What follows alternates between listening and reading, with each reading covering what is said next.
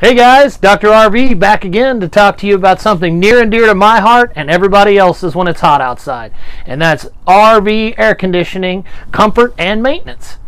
So what we're going to talk about is how to maintain your, your air conditioner, how to make it work for you in the best way, and, and how to make it work in general and what can go wrong. So let's start with the panel. Come on over here, Michael. First thing is, is the panel is, is getting it on, getting it to turn on, getting it to start. So what do you need first? You need power, right? So either plug in or on the generator. A couple of rules there. If you're plugged in, that's that's pretty cut and dry. You're going to have power coming straight to the RV.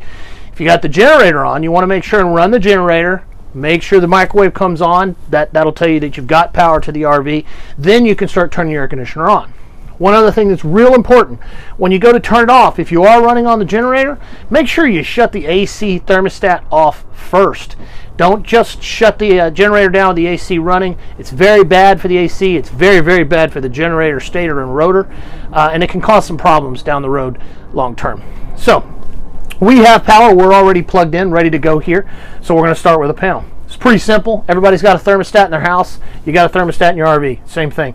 You've got a few settings here. You've got fan high and low, auto high and low, heat, off, fan, and cool. Now, you're not going to use fan very much unless you just like the sound of a fan or you want it blowing all the time. I would use it on auto. It's just a little bit more efficient uh, and, unless you want to do otherwise. So here we're going to turn on auto high and then cool. And then we need to set our setting. Now, this is important as well. A lot of us in our homes like to keep it at 67, 68 degrees. We like it nice and cold and frosty in the house. Well, in an RV, that can all, that can cause a lot of problems down the road. So what we want to do is keep it 71, 72, 73. It's a very small RV, uh, a, a, one system unit. It's it's really more than enough to keep the RV cool, and I think you'll be satisfied with that degrees. So we've got our system turned on, so we're going to go ahead and float the switch on down. Comes right on. So we're going to walk over here, check out the unit. Now you notice it's all blowing right here. It's all blowing straight down. That's not what we want. This is a ducted system. As you can see, there's a duct here, duct here. There's several throughout the coach. And what that does is it allows it to, uh, to distribute. So, I want to close these up. Now, once we close that up, what that does is it pushes the air through the ducting system throughout the RV so everybody gets an equal amount of air. It doesn't just blow down right here. So always make sure you do do that. A couple other tips we're going to go through is you can see in the RV over here, we've got the shades down Okay, we've got all the shades down on all the windows. Michael, if you'll give them a shot of that cover on the front. Whatever your RV may have, it's Class C, it's going to have a cover similar to this to cover the windshield. Uh, if you're in a Class A or a diesel pusher, uh, it's going to be a, a screen or anything on the front. What that does is the windshield brings in the most light in the whole coach. So you want to cover that first and foremost. Uh, obviously, when you're still, don't cover the windshield when you're driving. That causes a lot of trouble. But the windows, if you're in Arizona and it's 110 degrees outside, that's about as hot as it gets. You're not going to get much better than 20 degrees less than what's outside. So you want to shut all the windows closed. If you have day-night shades, make sure and put down the night shades so you're blocking as much light as possible. Same with the bedroom and throughout the coach. The reason you shut those down is to keep out any sun or any light that you can. Um, like I said, 20 degrees. So you may be in the desert at 88 degrees if you're dry camping or if you're plugged in even. So be mindful of that. That'll help you. Now, if you ever encounter a problem where you're blowing hot air, it should never blow hot air. It can be hot in the coach and still be blowing cold air because of the outside temperatures. However, if it's blowing hot air, you want to maybe open one of these up so you get it all right here. You get a good feel for it and it's hot or it's warm. I like to use a laser temperature guider to see what kind of temperature I'm getting in there, or even just put a thermometer in there and it'll tell you what it's at. If you are not getting a good solid 40, 50 degrees coming out at the source, then you have a problem. If it's blowing hot air, you have an issue. Now, it can be a fixable issue. Many times when it's very, very humid outside, the, the, the uh, humidified air can actually cause the AC unit to freeze up. This is actually another problem of keeping at a low temperature. If you've got it on 65 and it's just humming along and it's really humid outside, odds are you are going to freeze up what's called the coils. The coils are going to be frozen over and it will not produce cold air. It can't because it can't cool the air around it. So how do we solve that without breaking the thing apart? No problem. That's when you're going to use fan turn it off of auto, turn it off of cool, turn it on fan high, the heat outside will start it will start sucking in some of the heat outside and it will blow through. Yes, it's going to be blowing hot air, but it is going over the frozen coils, so it won't be real hot. Now it's going to get warm inside the RV while it's doing that. takes about an hour up to three hours, depending upon the temperatures outside and how long you're or, or how fast it's running. That at that point uh, will melt down that ice. Once it does that, you can turn the AC back on and start over again. Uh, this is one problem you can solve by yourself. Uh, this can also occur if you have low power. Just because you're plugged in at a very nice resort or park doesn't mean you're getting a full 30 or if in a class A 50 amps. You can get 20 amps, 18 amps. You can get less if you are on a line with 20 other people and everybody's running their AC in the heat. You can definitely get less amps. If you do that, the AC pulls the most amps in the coach.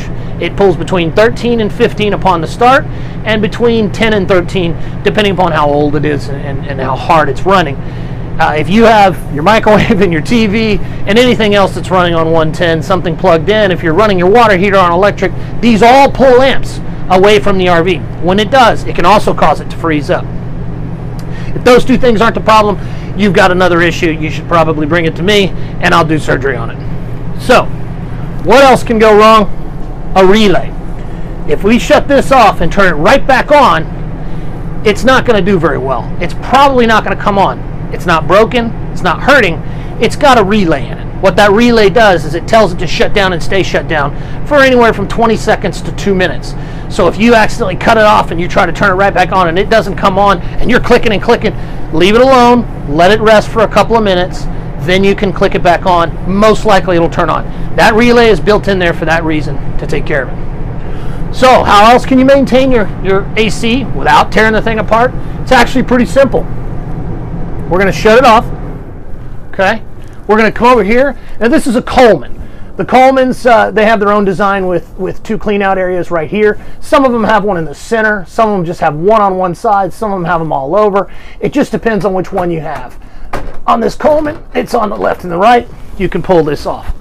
The first thing you want to look at is this. Now, this is a pretty nice filter. Uh, they all have filters. Some of them are just literally a piece of small cloth. Uh, some of them are hard plastic like this uh, and are pretty durable.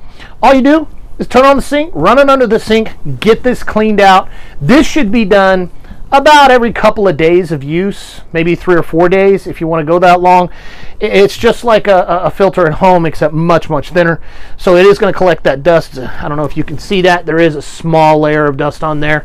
Um, just run it under the water, wash it up real good, and put it back up. That's easy enough. That should be done on a regular basis. Now, you've owned your RV for two or three years. Uh, you've gone on three or four trips a year. You run that thing for weeks at a time. The coils are probably clogged. Um, and the reason this happens is because you don't have a good filtration system in these things. So it takes in a lot of dust if you don't keep this clean. The coils are going to be up inside here. On this particular model, they're actually on the inner side, up right here, and on the other side. You can access these from here, depending upon the unit, whether it's Dometic or uh, Penguin. You may have to do it from the top. If that's too much of a work for you, then you can have somebody do it for you. It's a pretty easy procedure. Uh, you can get a cloth and clean them. Be very careful. When you're looking for the coils, what you're looking for is what's on the back side of your refrigerator. We've all seen the back side of a refrigerator. We've all taken our finger and bent the little fins. Same thing. Don't bend these fins. But that's what these are. It's just coils. Clean them off with a nice wet towel. What's even better is coil cleaner. It's a foaming cleanser you can get at any hardware store. Spray it on there, leave it on for a couple minutes, wipe off the excess. It'll get it clean. If you can do this once a year, that's great. Your AC will run efficiently. You won't have any problems and you'll stay nice and cool. So that's about it that we got for uh, RV air conditioning, comfort, and maintenance. Like I said, this is a very important thing. We never want to be stuck out in 80, 90, 100 degree weather without an AC. Kids are complaining. These things can help you do that. If you're on the road, you're experiencing some of those problems, go back through the video. It'll show you how to do it. In the meantime, always look out for the doctor. He's always in.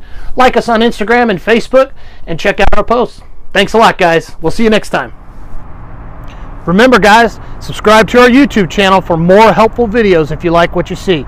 We'll be taking in new patients every week. till you get the medicine you need for your RV needs.